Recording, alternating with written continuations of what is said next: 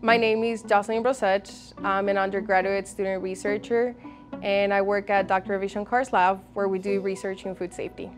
We study the prevention of foodborne pathogenic bacteria in food production in industry. We do research in different products and currently we're working in melons.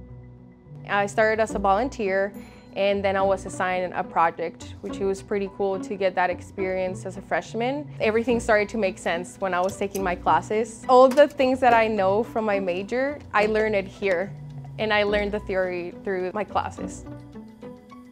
I personally think food safety research is important because there's so many things that we don't know about food safety and how our products can get contaminated.